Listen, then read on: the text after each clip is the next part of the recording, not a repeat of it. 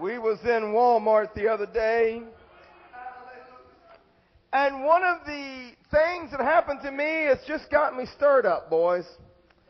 What happened to me right there in Walmart? Me and my wife was walking down the center aisle there, you know, and I spotted a lady. She had the holiness look. You know what I'm talking about, Brother Greg? She looked like one of us. And I got just uh, smiling because I saw she saw us and she headed right toward us. I like that. And so by the time she got there to me and my wife, I was smiling. And she said, Excuse me, you look like holiness people. Oh, I like that. I said, Yes, ma'am, we are. And she asked me a question that has got me stirred. She said, So tell me, are you Trinity or are you Jesus' name people? Now, now, wait a minute. I thought about that for a minute. Am I Trinity or am I Jesus' name? I said, Well, yes, I am. She said, No, no, I asked you, are you Trinity or are you Jesus' name? I said, I sure am. She, you're not understanding my question. See, what I'm asking is, do you believe in the Father, Son, and the Holy Ghost, or are you Jesus' name people? You better believe I do. You better be, I'm glad to be amongst some Jesus' name people tonight. Amen. Woo! I'll tell you. You know, there's a lot of things that we could go into a little bit here tonight about things that we don't like that's uh, happened and, and crept up amongst us in these last days. I understand that. But the one thing that has got me stirred up and a little bit angry tonight is the fact that we Pentecostal Trinity holiness people, we are very shy and timid about how much we use the name Jesus. We don't want to be considered Jesus' name people. We're Jesus' name people. I got so aggravated, brother, because see, I wrote down some scriptures. Bless the Lord, oh my soul, and all that is within me. Bless his holy name. Woo! Wherefore God also hath highly exalted him and given him a name. What's that name? Hath given him a name which is above every name that at the name of Jesus, every knee should bow of things in heaven and things in earth and things under the earth. And that every tongue should confess that Jesus Christ is Lord to the glory of God the Father. Neither. How in the world could they ask me if we are Jesus' name people? Neither is there salvation in any other. For there is no other name under heaven. Woo! Given among men whereby we must be saved.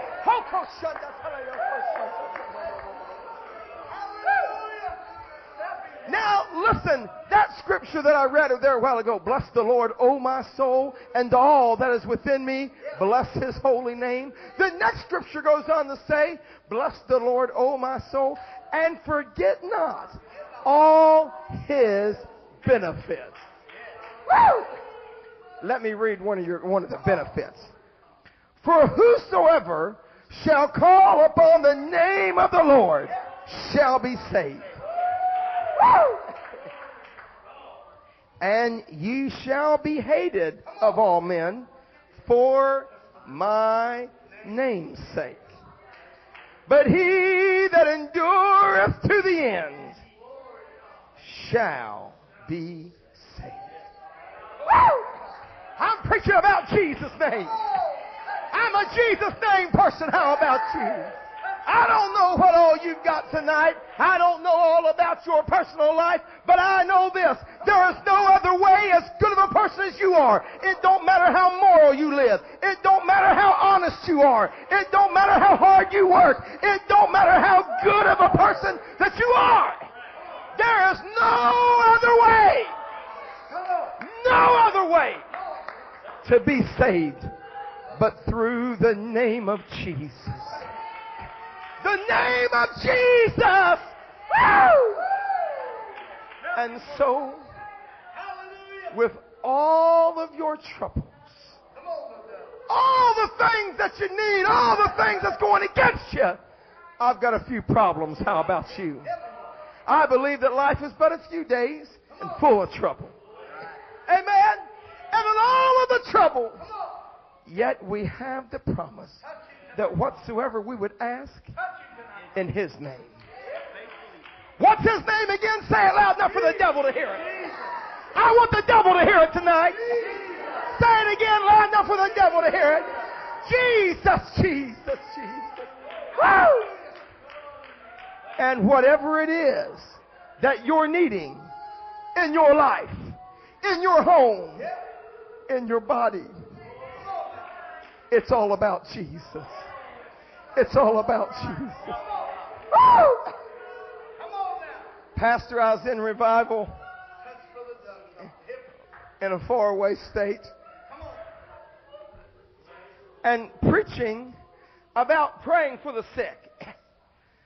The uh, pastor realized I had put a little emphasis on the name of Jesus. He was worried about that. They were a holiness group of people. No, as far as the outward appearance, they looked very good. But he had to get up after I got done. No, he didn't have to get up. He thought it would be wise after I got done preaching to get up and they make a disclaimer. He said, you know, uh, we, we believe everything Brother Doug said tonight, and um, I know that he mentioned the name of Jesus a whole lot tonight. But uh, I want you to know that he does believe in the Trinity. He does. Let me tell you something, church. We are Jesus' name people. I don't know why that God has put such emphasis on the name of Jesus. I don't know why I did it that way. Why did he choose to give him a name highly exalted above all other names? Why didn't he make him kind of like he made Saul, head and shoulders above the rest? That whenever he walked on this earth, people would go, What a man. Right? Why did he do it that way? And then we could preach when Jesus walked on this earth, he was bigger than everybody. Why didn't he make him so, have such an aura about him, such a beauty about him, that whenever he walked into the place, Jesus had such a beauty about him that everybody would go, that, that, that, that must be him. That must be him. What a man. But you know what the prophet Isaiah said? That there would be no beauty about him, that he would be desired. In the flesh, he wasn't no big, tall, strong, beautiful man that everybody, you know, said, wow, what a great guy. Just look at the way he looks. That wasn't it. God could have decided to go that direction. And if he would have, that would have been perfect, brother. See, if that's the way he would have went, that would have been all right with me. Amen. But he chose to give him a name which is highly exalted above all other names. That there would be no other name given among men whereby we must be saved. Why did he decide to use the route of the name?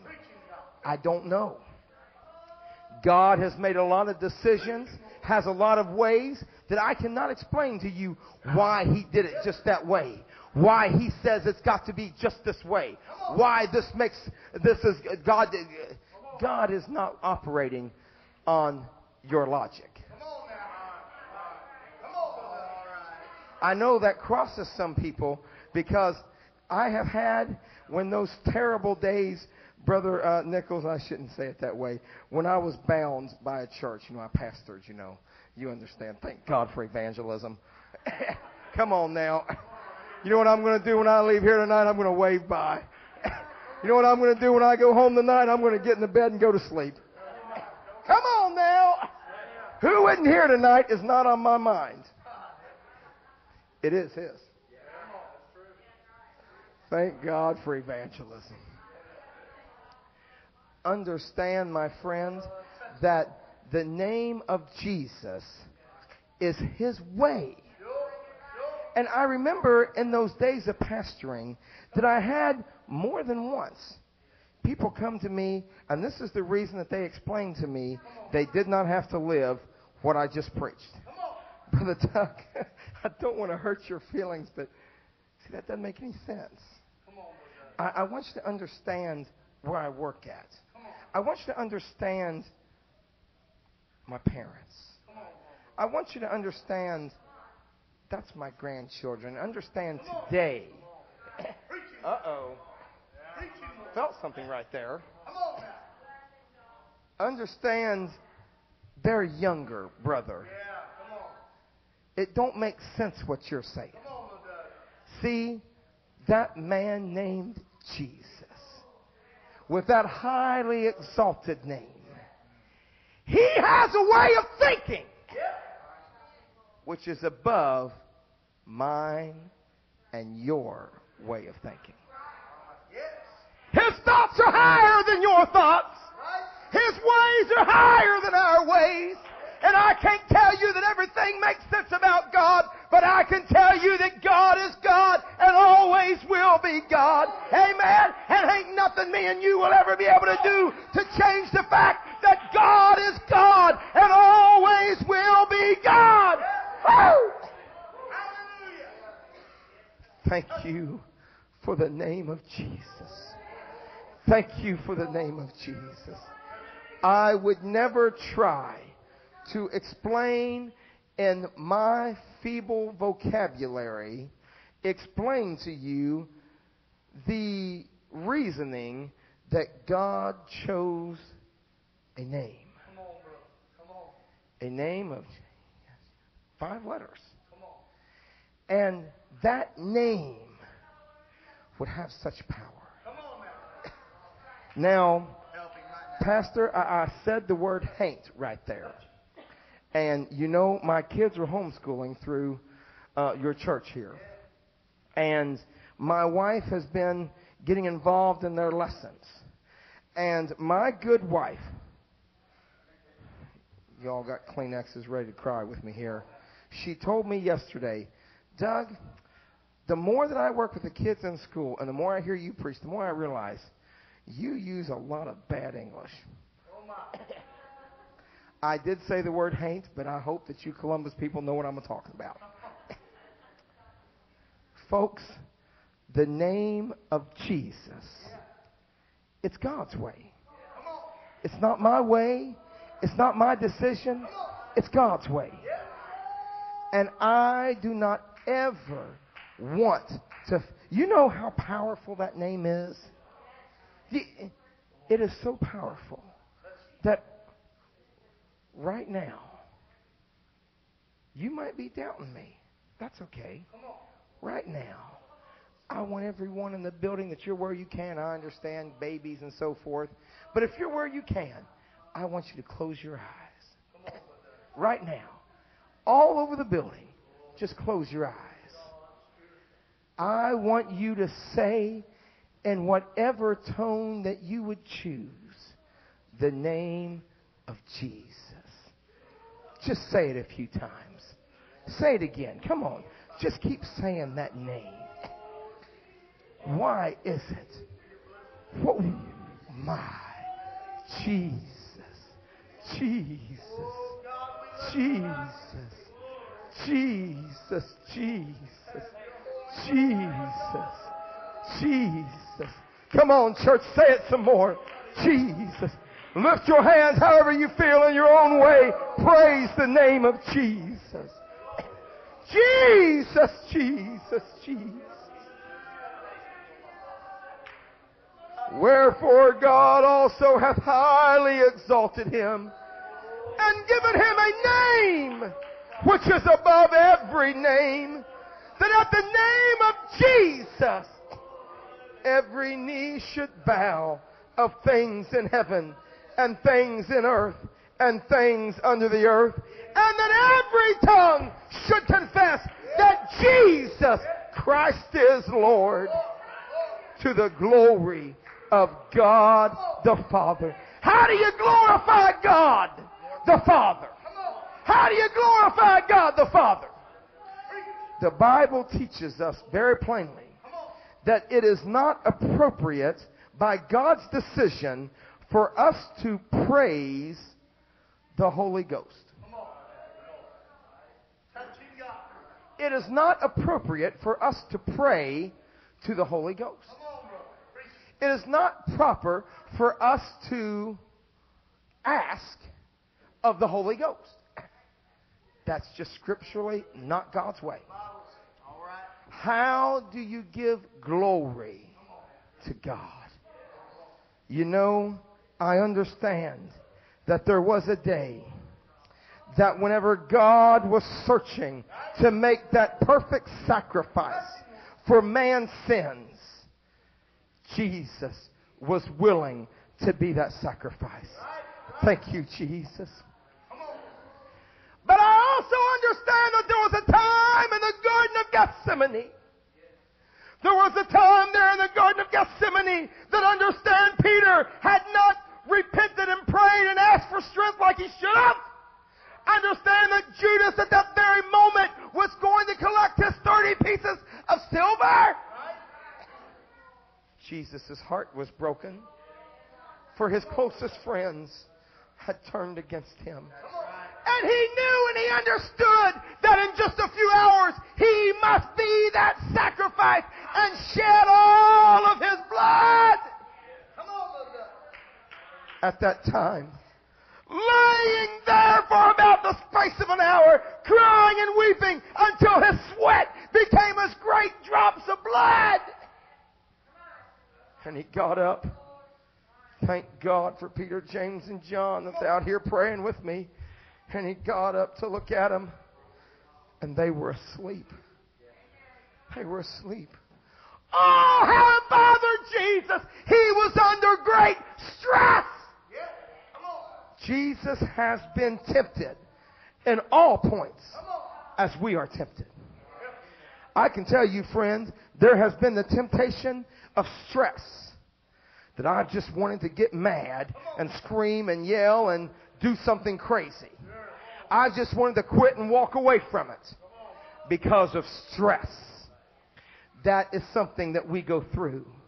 Don't you know as Jesus got up and he sees this Peter, James, and John asleep, knowing that Peter would not repent, and all that Judas is collecting his, uh, his 30 pieces, all knowing that he's getting ready to face death and face all of the tragedy of pain and suffering.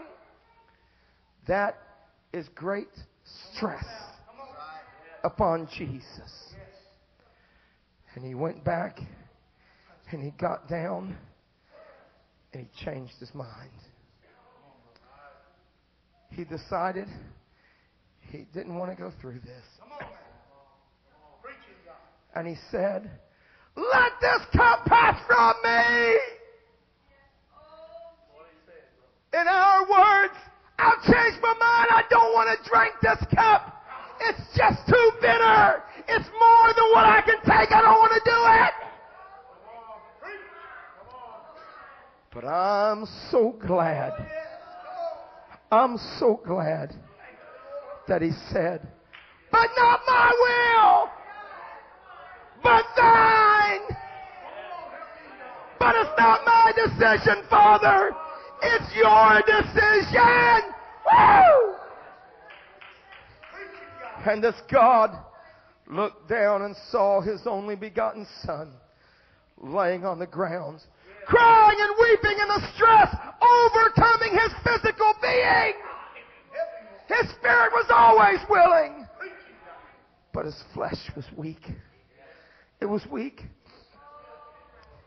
Can you imagine all of those angels around the throne worshiping God? Whenever Jesus said that, can't you imagine with me that some of those angels, hey, hey, hey, hey, God, we'll go, we'll go get him right now. Send him. Boy, he's been through enough. Yeah, this is a lot harder than he thought. I'm going to go. Send me, Lord. I'm ready to go. I'm ready to go. But God, he looked way out there in the future. Some 2,000 years later, he looked and he saw me. Hey, I have got so many faults. I have got so many imperfections. There has been so many times, Pastor, that I've had to come back to the altar, say, Lord, I'm so sorry. I'm so sorry. Why didn't I do it that way? Why did I do it this? I'm so sorry, Lord. I've had to repent again. And because he saw that I needed redemption, I needed a great sacrifice, and this was it. The Father looked down upon his praying son. All of those angels ready to go get him. Bring Jesus could have called the angels himself. But Jesus did not want it to be his decision. He wanted to pray, but not my will, thy will. Amen. And it was right then that God so loved the world that he gave his only begotten son.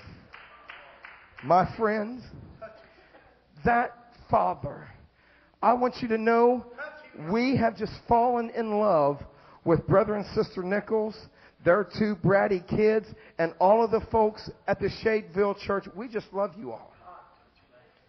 But understand, my 13 year old boy, who was so glad to be with his grandparents tonight, and we got home yesterday, been gone since December, and he was so glad to be home. We love y'all, but he loves them better. I'm sorry. Yes. Understand, as much as I love you all, there's no way that I love you so much. I would take either one of my boys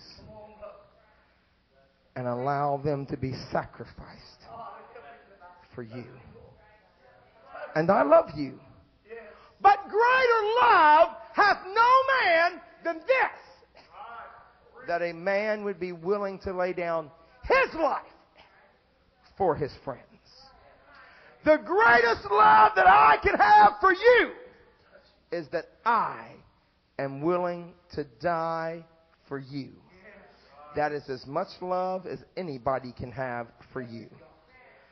But oh, my friend, there is a love there is a love that is so much greater. It is so much deeper. It is so much wider.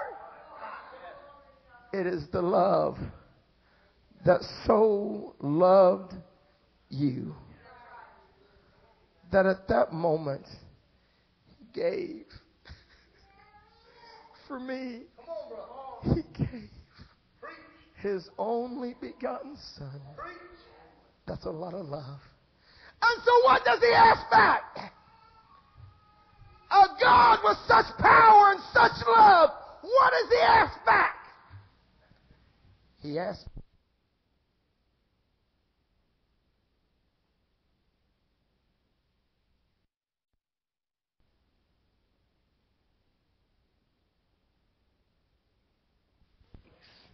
and glory.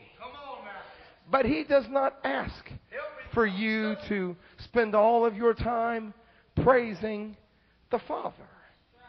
And my, he deserves great praise because he has got greater love for me and you than any person could ever have. But what he asks, what brings him glory, is when you praise his son. That brings him glory. That makes him happy. That brings him glory. He has set up heaven in a way that there is only one door to get into heaven. It's the name of Jesus. You know, I uh, have somebody that's kin to me that had a great ideal. They didn't want to uh, consecrate themselves over to the Lord, but they didn't want to go to hell either. So they thought of a way to get to heaven, they thought, without consecrating themselves over to the Lord. You're going to like this. They bought a church, a church building. I mean, spent all kinds of money and set a church up in a nice building, put money in the bank for them, and just always made sure they had money. He wasn't a wealthy man. Come on, brother. He was trying to work his way into heaven. Have you ever been around? I have a great aunt. My daddy's aunt is Mennonite, and praise the Lord for the lifestyle that they live of Puritan, uh, of, of being free from all the things of this world. Thank God for it. And I have got to be on vacation around some Amish people. Very conservative people. Amen. But understand with me, you're not ever going to work your way into heaven. You're right, brother. Come on. That door doesn't exist. You're not ever going to earn your way or sacrifice your way into heaven. That door doesn't exist. There is but one door Jesus. Jesus. There is but one way to bring glory to the Father Jesus. Jesus. Jesus. I am so glad tonight to say to you that the Shadeville Church of God is a Trinity church. Thank God for it. We believe in the Father, the Son, and the Holy Ghost of being very three distinctive people that make up God. That's who God is. The Father, the Son, and the Holy Ghost. Amen? Amen. There are three that bear witness. Amen? Right. Jesus wasn't insane when he was on the cross. He wasn't talking to himself. He was talking to the Father. Amen? My friends, we're not only Trinity people. We are Jesus' name people. Come on here now. We're not ashamed of the name of Jesus.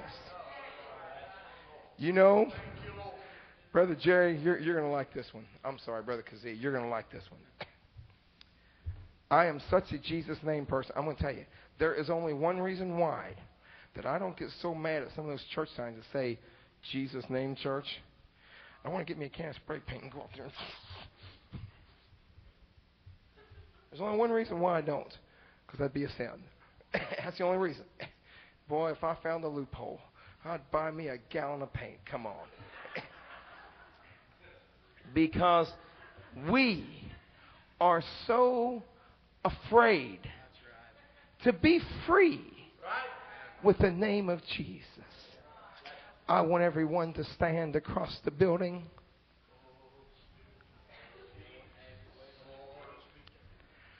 I know that there are some problems amongst some folks right here.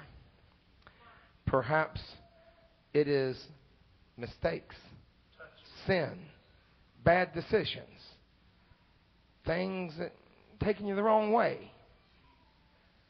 What you need is not a better banker. You don't need a counselor. Well, I won't even go into it, but to make a long story short, I was going to tell you about a good preacher friend of mine that went the other way and joined a big Pentecostal denomination, and and uh, he's having some marriage counseling through his pastor. He's having some marriage counselor, marriage counseling through his pastor, and goes into these counseling sessions as if he is a psychiatrist. Thank God for a pastor. That's a Dr. Nichols back here. that we can go to him and we can talk to him and he can talk to us. Amen. But if I've got Dr. Nichols figured out, I think the first thing he's going to ask us is, let's pray. Come on now. We don't need psychiatrists, psychologists. Thank God. You all know the story, probably as good as I do now. You've heard me preach it so much. Eight years ago, I lived in a nursing home. Thank God for every one of those medical professionals that helped me. Eight years ago, I was legally blind, 90 something percent blind. Thank God for every one of them that tried their best to help me. They tried so hard. They did all that they could. I was wheelchair bound. My left side was paralyzed. They'd done everything that therapy could possibly do to convince me that I was going to be all right and I could walk, and then I'd fall on the floor. They did all they could. I am not putting them down. I appreciate all that they did, and I believe they did all that they could.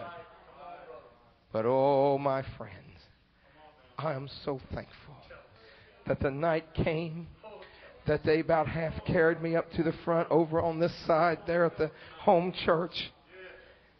And they got the oil just like that Isaiah 53 says. Anointing him with oil and praying in the name of the Lord. Isaiah didn't know his name yet, but we do. Aren't you glad we know his name? Woo! And they anointed me with oil in the name of Jesus. Hey, y'all want me to t- tell what tell about that night a little bit? Go ahead and sit back down.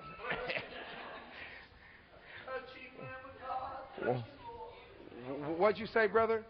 I'll find out. What time's McDonald's close? Uh, we'll get you there. Hey, when they got done laying hands upon me, anointing me with oil, and praying in the name of the Lord, I felt such a charge. But I didn't think anything really changed. So they took me back and they set me back on the front seat. All right, if I sit on the altar, Pastor. Sit me back on the front seat, and my brother Dwayne got up and sung that good song. There's a miracle in the making for you. Thank God. Oh, and the more he sung that song, the more I sat there, I started feeling better. I mean, I had I was in pain all the time, and things just quit hurting. I just started feeling better before I was thinking about what I was doing. I didn't even think about what I was doing. I just wanted to praise the Lord because I was feeling better. And I raised up that hand right there, the one that was paralyzed. And I just started praising the Lord. With my paralyzed hand, I was praising the Lord. Oh, thank you, Jesus. I'm feeling better. Woo! Pain's leaving and I'm feeling better.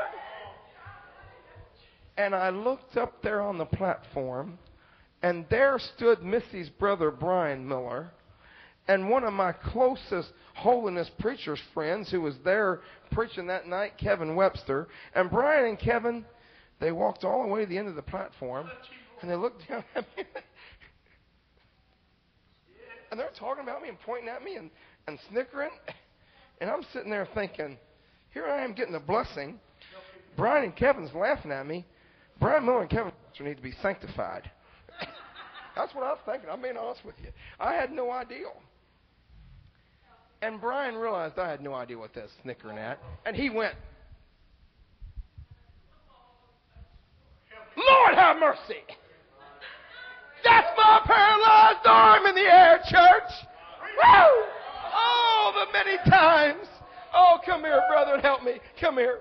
Oh, I'm talking not once or twice, but hundreds of times. Those physical therapists take my arm there and lift it up for me. Hold it up in the air. Hold it up there. And then they'd say, now I'm going to count to three. And when I let go, you hold that arm up there, okay, Doug? You can do it. Make up your mind. You can do it. One, two, three. it would hurt every time. Brother, there was times, thank you. There was times that I said, please, I can't do it. You've got to make up your mind, Doug. You can do it. Thank God for a made up mind. There's a lot of people that need a made up mind in their lives. But I'm going to tell you something. Your made up mind is still you. And you are very limited. Come on now. It's not mind over matter. It's the name of Jesus. You know why that that arm is up in the air tonight? Not because I had a made up mind. Not because that great uh, men that was better than anybody else prayed for me. Not because that I am the better than anybody else and the Lord decided to give me a miracle. No, no, no. But because Jesus, in all of his pain, he let them rear back and stripe him, beat him and scourge him. And with every stripe, he suffered in great pain. But he paid a price so that I could lift that arm up tonight. My arm is up in the air because with his stripes we are healed. I was so happy and so thankful that my arm was up in the air. I was waving at folks. I was just getting my friends' attention. Everybody that I would get their attention. Brother Jason, you was probably there that night, wasn't you? I don't know if you was one of them or not, but I'm telling you, everybody I'd get their attention. I'd wave them. They would jump up. Some of them would run. Some of them would shout. Some would dance. Some would scream. I mean, it was pandemonium around there. And now I'm thinking, I should have waved at these people years ago. I had no idea why that they were just, I just thought it was over my arm. I waved at my good friend Dave up on the platform. He stood up and he went, You see me? Jesus opened up my blinded eyes. Woo! I said, Jesus opened up my blinded eyes. Woo! If you've got sickness in your body tonight, I hope that you give me the wonderful opportunity to do just what the Bible said. Lay hands upon you, anointing you with oil in the name of Jesus. And understand, it will not be in my name. I can't help you. Now understand that we are afraid to believe that miracles can happen oh, right here at the Shadeville Church of God. Come on here. Oh, I'm telling you the truth. There might be some of you that ain't a bit afraid of that, but there are some of you that are afraid, afraid to believe that a blind person could open their eyes here. Why do we believe that? Because right now, up above the Shadeville Church of God, in the airwaves, there are evangelists and pastors. Right now, they are on the radio and on the television. And they are explaining about their last miracle campaign, their last healing crusade, and all the great miracles that took place, all the blinded eyes that were opened in their last crusade and campaign. And for $50, they'll pray for you.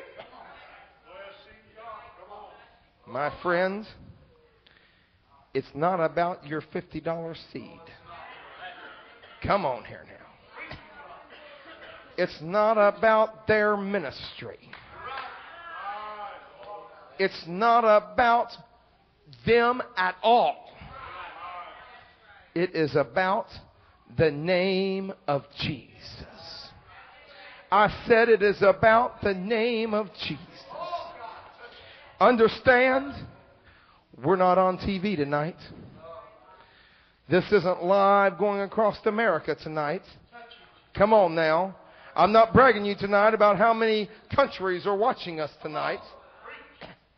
But what I'm telling you, this is a holiness preacher. I'm standing in a holiness church. And I was blind. But a few of my family and friends, a bunch of nobodies, took a little bit of olive oil, anointed my forehead, and prayed in the name of Jesus. I can see, I can see, I can see. Why? Because Jesus opened up my blinded eyes. Jesus is my healer.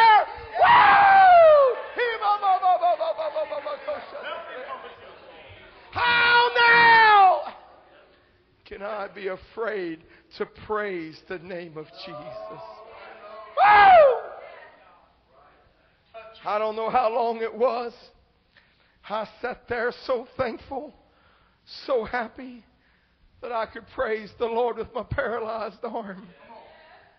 That I was able to look around and see every man clearly. I was so happy. And Brother Miller got up to dismiss. My walker was standing right there. I had never made a step in many months without my walker, and I wasn't no good with it. That night I'd already fell three times coming into the church. I was using a walker, not because the doctor was making me and physical therapy was making me. I was using a walker because I was stubborn and wasn't going to get back in the wheelchair. It wasn't working out too good, but I was trying. And I made up my mind that the Lord was going to have my trust in that surface. That is a made up mind. Not that I was going to see, that my left hand was going to raise, that I was going to be able to stand without any help. Understand, I did make up my mind that I was going to stand without any help before. Pastor, I made up my mind one night. My daddy was there helping take care of me there in Illinois at the parsonage. And I made up my mind. I mean, I was sick and tired of being uh, cared for as a baby and, and being taken care of, all that stuff. I made up my mind. I have to go to the restroom and I'm going to go and nobody ain't going to come to me. I'm going to go. I set, got myself setting up on the end of the bed.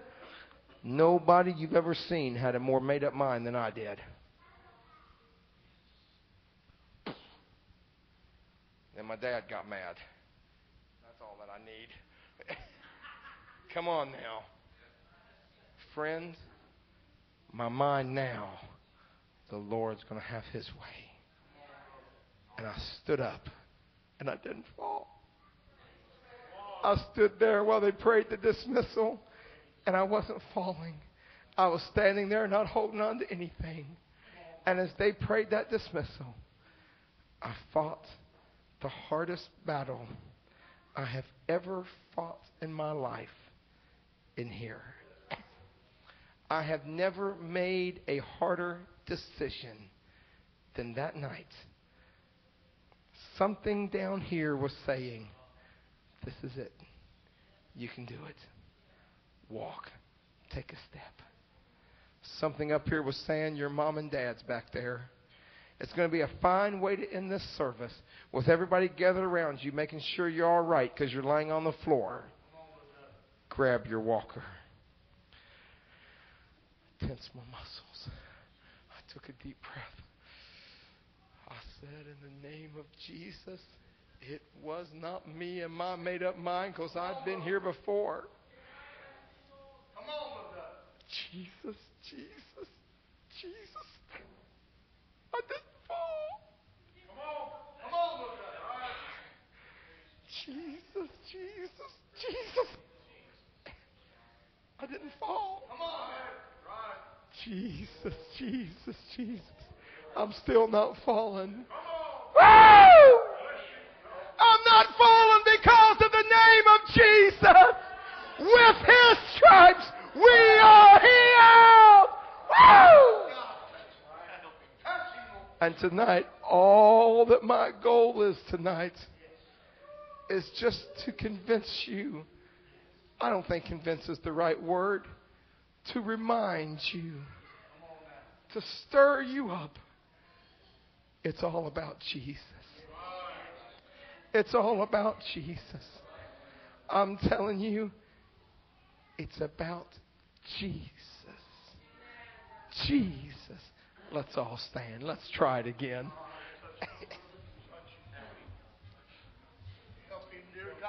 you know, a few years ago, I prayed the way I always prayed when I'd come to the altar every day when I'd pray is I just, you know, get right in there. Lord, it's me. I want you to know that uh, I need this, Lord. And let me say, I just thought that was the way you're supposed to pray. He said, You have not because you ask not. He said, to Ask what you will in the name of Jesus. Amen. But understand, since I've been a daddy, I've learned that those little bratty kids of mine can come up to me and say, Hey, Dad, go to McDonald's now. Let's go. I ain't going. But you all have seen that gorgeous little blonde headed girl I've got that looks just like me.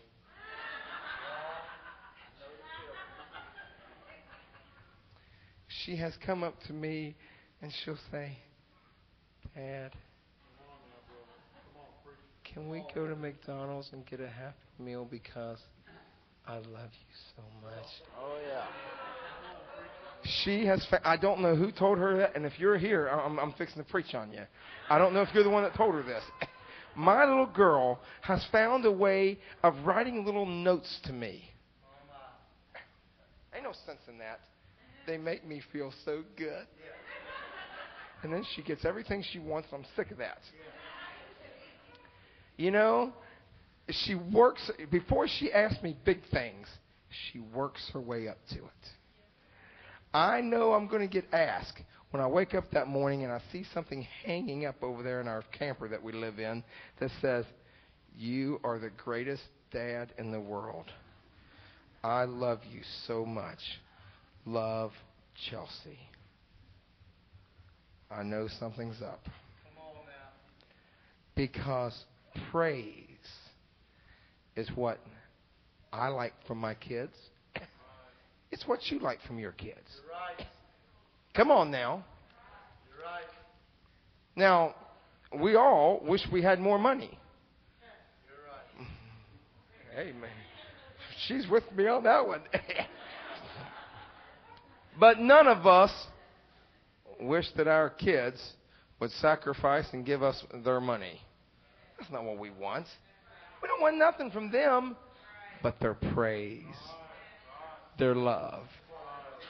They're, you're the greatest daddy in the world. Now I'll confess to you, I've got a whole stack of all those notes. I've never threw one away.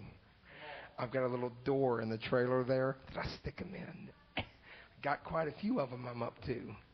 I love them. And then understand that Jesus, He loves praise. He loves worship. And whenever you're bragging on Jesus and you're just loving Him with all you got, then you can tell Him what you want. He'll give you the very desires of your heart. You can talk to Him, worshiping Him, bragging on Him, loving Him, and the Lord's going to take care of your prayer. He's going to answer your request. Do you all know I'm telling you the truth? I'm telling you the truth. I want right now. Uh, we've got all these altars up here and these front pews, and and if you can't fit up here, get wherever you can fit. I want you to get somewhere, and I want you to promise me that you will spend a few moments, not you know 15 seconds, and ask for 15 seconds and hurry up and go to the bathroom. No, no. Spend a few moments just bragging on Jesus, just loving on Him tonight. Who would agree to do that? Who would agree to do that? Would you spend a few moments just loving on Jesus? Let's come with all of the reverence we can. Get down on our knees if you're able. If you're not able, get however that you can to show reverence and appreciation and love and let us worship the name of Jesus. Let us praise Him, brag upon Him. And oh, when you feel the Spirit moving, then my friend, you can go ahead and tell Him just what you need. Come on and brag on Jesus. Come on and brag on Jesus tonight. Brag on Jesus.